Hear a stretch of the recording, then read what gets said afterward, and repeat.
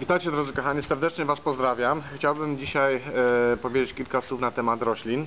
Otóż e, mamy rośliny, które polepszają nasze samopoczucie, pewne inne rośliny pogarszają nasze samopoczucie. Chciałem kilka słów zamienić na ten temat.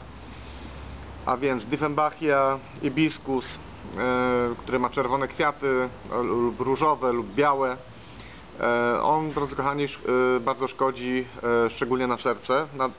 Ma po prostu pewne energie, które, drodzy kochani, nam szkodzą na płuca, na złe samopoczucie. Filodendrony pobierają e, tlen z danego pomieszczenia, nie polecane są przeze mnie.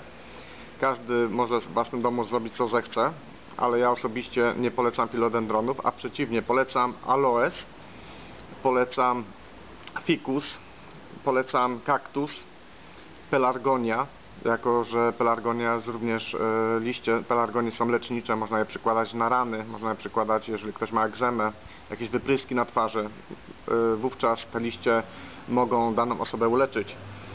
I również ruda. Ruda ma takie malutkie listki, e, przynosi szczęście do domu, przynosi dobrą energię, dobre wibracje, przynosi również pieniądze, przynosi wszystko co najlepsze do naszego domu. To jest właśnie ruda, polecam.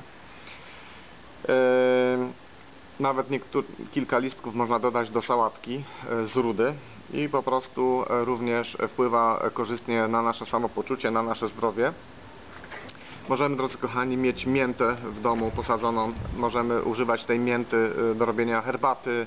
Również ona da nam dobry zapach, dobre samopoczucie, wpływa korzystnie na system oddychania, na nasze płuca.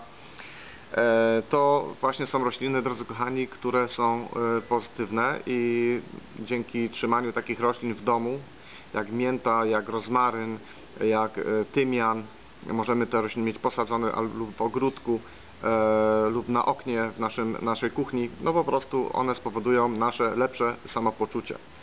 To by było, drodzy kochani, taka informacja dla Was. Ja jeszcze raz Was zapraszam na link pod YouTube'em, e, gdzie możecie zakupić aronit mineralny bardzo zdrowy. Od Ciebie się żegnam, pozdrawiam Was serdecznie i do widzenia.